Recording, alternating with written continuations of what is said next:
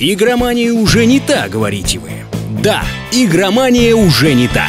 Встречайте новое ток-шоу от игромании в прямом эфире на нашем Twitch-канале. Игромания уже не та. По пятницам в 7 вечера.